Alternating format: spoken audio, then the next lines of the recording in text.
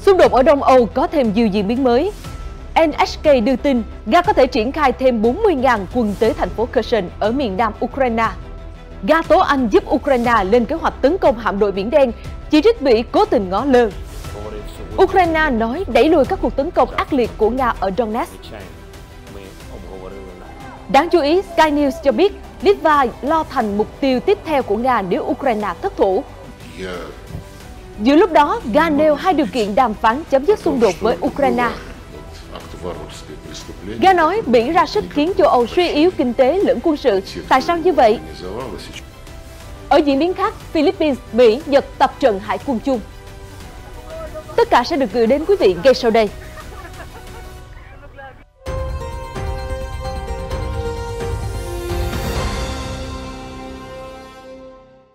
Mến chào quý vị đang đến với chương trình Thời sự quốc tế. Tiếp tục là những cập nhật liên quan đến xung đột rực lửa ở Đông Âu. NHK đưa tin Nga dường như đang tập trung hàng chục nghìn quân ở thành phố Kherson, giữa lúc Kiev tăng cường phản công ở miền Đông và miền Nam đất nước. Trước đó, truyền thông Ukraine dẫn chia sẻ của sếp tình báo cho biết, Nga đang điều động 40.000 quân tới Kherson. Nhiều binh sĩ được cho là thuộc các đơn vị tinh nhuệ, bao gồm lực lượng đổ bộ được không. Theo vị quan chức, nhiều khả năng quân đội Ukraine sẽ mất một tháng để giành lại vùng Kherson từ tay Nga.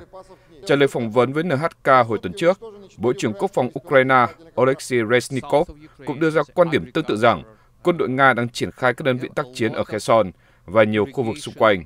Hiện những tin tức liên quan đến mặt trận ở Ukraine chưa thể được kiểm chứng độc lập. Trong khi đó, vừa qua, Nga tuyên bố đình chỉ vô thời hạn việc tham gia vào thỏa thuận nối lại hoạt động xuất khẩu nông sản từ Ukraine. Moscow nói rằng nước này không thể đảm bảo an toàn cho các tàu chở hàng tham gia thỏa thuận do hạm đội Biển Đen ở Crimea bị tấn công bằng máy bay không người lái. Hôm 31 tháng 10, Bộ Quốc phòng Nga tuyên bố các vụ phóng được thực hiện từ bờ biển gần thành phố Odessa, miền nam nước này. Chính phủ Ukraine đã bác bỏ tuyên bố của Nga. Theo Sky News, Nga đã chỉ trích phản ứng của Mỹ trước việc máy bay không người lái tấn công bán đảo Crimea. Đại sứ Nga tại Mỹ Anatoly Antonov nói, phản ứng của Washington trước vụ tấn công cực đoan vào cảng Sevastopol thực sự không thể chấp nhận được. Ông chỉ trích việc Mỹ ngó lơ và không lên án điều mà Nga cho là những hành động liều lĩnh của Ukraine, mặc dù Kiev đã bác bỏ điều này. Ngoài ra, Điện Kremlin cũng cáo buộc Anh quốc giúp Ukraine lên kế hoạch tấn công. Theo Sky News, Mỹ không bình luận về điều này. Đại sứ Antonov nói, tất cả dấu hiệu trên cho thấy Mỹ đã bỏ qua việc chuyên gia quân sự Anh giúp Ukraine khơi mào các cuộc tấn công quy mô lớn bằng máy bay không người lái. Vương quốc Anh đã bác bỏ cáo buộc và cho rằng Moscow đang cố gắng đánh lạc hướng chú ý khỏi các cuộc giao tranh trên mặt trận Ukraine. Tại khu vực miền đông Donetsk hôm 30 tháng 10, Tổng thống Ukraine Volodymyr Zelensky cho biết quân đội nước này đã đẩy lùi một cuộc tấn công ác liệt của quân đội Nga ở Donetsk. Theo Reuters, ông Zelensky mô tả đơn vị trú đóng ở miền Tây Ukraine đã phản đòn và thành công cản bước quân Nga. Tuy nhiên, nhà lãnh đạo không nêu rõ cuộc giao tranh đã xảy ra ở đâu. Hiện chiến sự ác liệt nhất ở vùng Donetsk được cho là đang diễn ra xung quanh các thị trấn Bakhmut và Advika. Hiện những tin tức liên quan đến mặt trận ở Ukraine chưa thể được kiểm chứng độc lập. Ngoài ra, Tổng thống Ukraine cũng chỉ trích về việc Nga đình chỉ tham gia thỏa thuận nối lại hoạt động xuất khẩu ngũ cốc.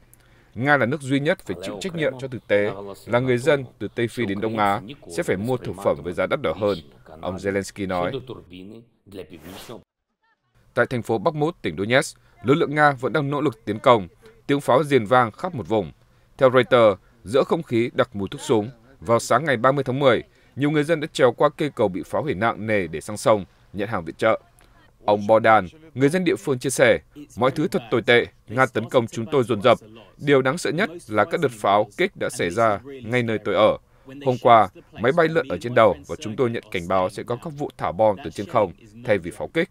Thị trấn Bakhmut đã trở thành mục tiêu quan trọng của lực lượng Nga ở Donetsk sau khi giành được các thành phố công nghiệp chủ chốt là Lysychansk và Severodonetsk hồi tháng 6 và tháng 7.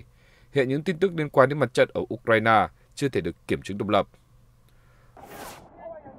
Ở diễn biến khác đáng chú ý, Sky News đưa tin việc Nga triển khai khoảng 9.000 quân đến Belarus đã làm dấy lên lo ngại rằng nếu Ukraine thất thủ, Litva có thể là mục tiêu tiếp theo của Nga. Ở thị trấn Vistitis, phía tây nam Litva, người dân hiểu rõ những mối nguy hiểm tiềm tàng mà họ có thể phải đối mặt khi phía bên kia biên giới là vùng lãnh thổ Kaliningrad của Nga. Moscow đã triển khai quân đội lẫn vũ khí hạt nhân ở khu vực này. Đôi bên ngăn cách bởi hành lang Suwaki, nơi được biết đến là điểm yếu chí tử của NATO. Nếu Ukraine thất thủ, chúng tôi sẽ gặp vấn đề lớn, cựu quân y Vilius Kusipaitis, hiện là bác sĩ ở thị trấn Vitistis chia sẻ. Ông cho biết, nhiều người ở thị trấn lo lắng đến mức chuẩn bị sẵn sàng hành lý, xe cộ để có thể sẵn sàng chạy sang Ba Lan bất cứ lúc nào nếu an ninh Litva bị đe dọa. Chúng tôi lo sợ vì nếu Ukraine thất thủ, chúng tôi sẽ gặp vấn đề lớn.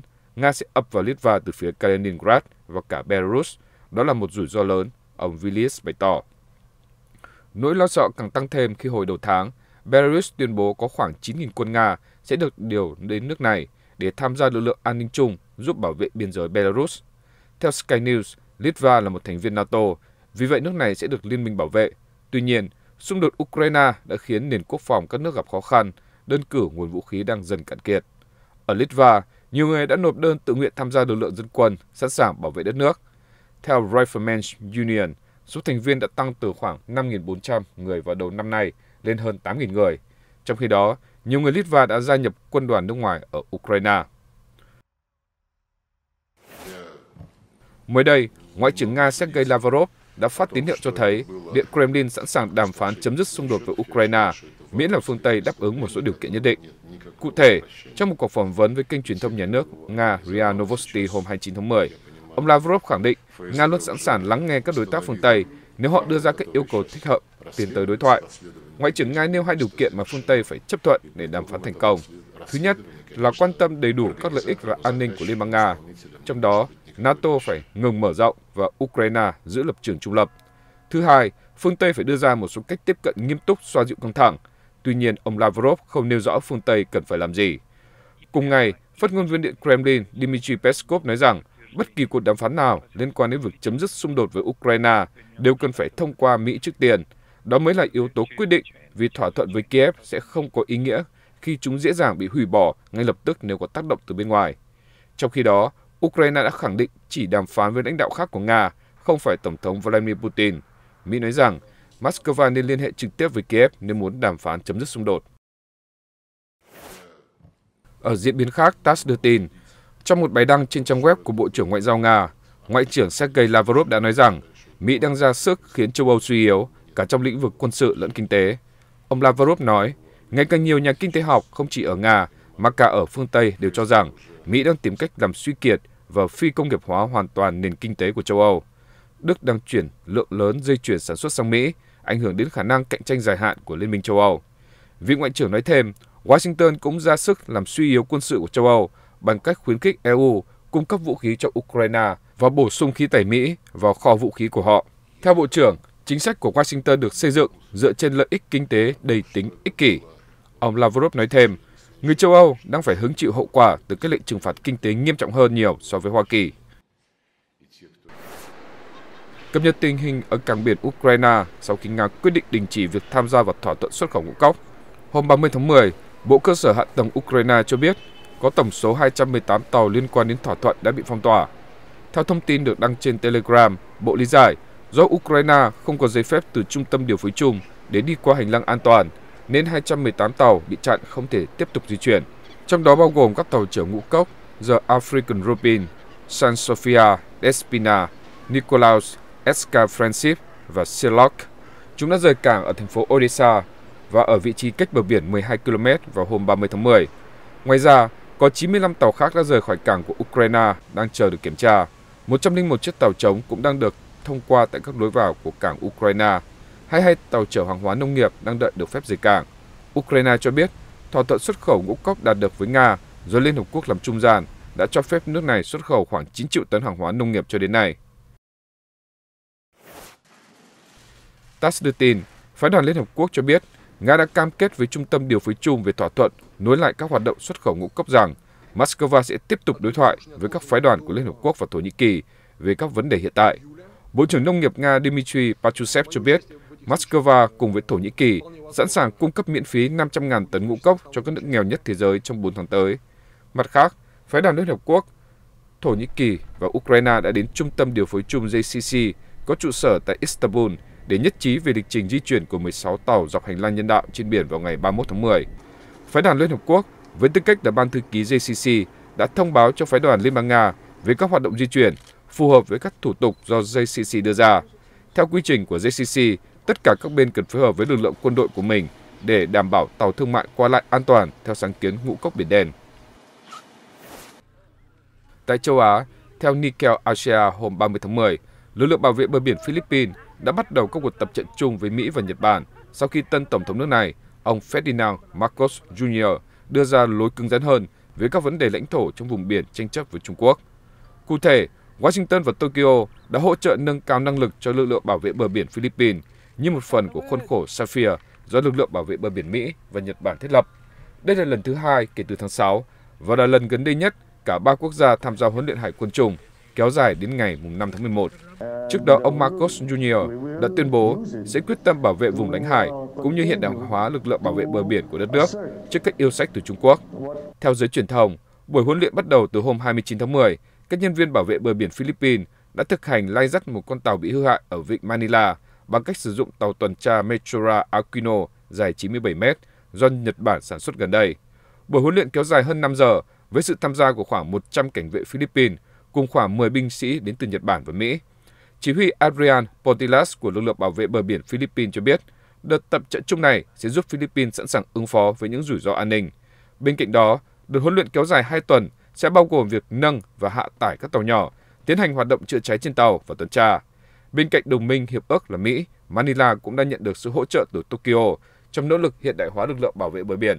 Nhật Bản và Mỹ sẽ dự kiến tham gia các cuộc tập trận với lực lượng bảo vệ bờ biển Philippines 3 đến 4 lần một năm. Phía Mỹ coi chương trình bảo vệ bờ biển là một phần trong nỗ lực thắt chặt quan hệ ba bên Nhật-Philippines. Trung úy Bryce Matakas thuộc lực lượng cảnh sát biển Mỹ cho biết, sự hợp tác này đảm bảo rằng tất cả các nước có thể đạt được mục tiêu và thực thi pháp luật hàng hải của mình, đồng thời xây dựng mối quan hệ giữa các lực lượng bảo vệ bờ biển ba nước. Philippines, Việt Nam và các quốc gia khác trong khu vực Biển Đông hiện có tranh chấp lãnh thổ với Trung Quốc. Trung Quốc tuyên bố chủ quyền đối với gần như toàn bộ Biển Đông thông qua bản đồ đường chín đoạn. Năm 2016, một tòa án trọng tài ở The Hague đã bác bỏ yêu sách của Trung Quốc, nhưng Bắc Kinh không chấp nhận phán quyết này. Chuyển sang một số tin tức đáng chú ý khác.